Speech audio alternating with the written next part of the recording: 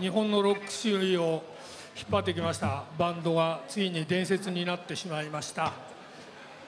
RC サクセション、Yeah. えーそこのドラムを一手に引き受けて叩いてました。僕らの同級生です。新田幸三。はい「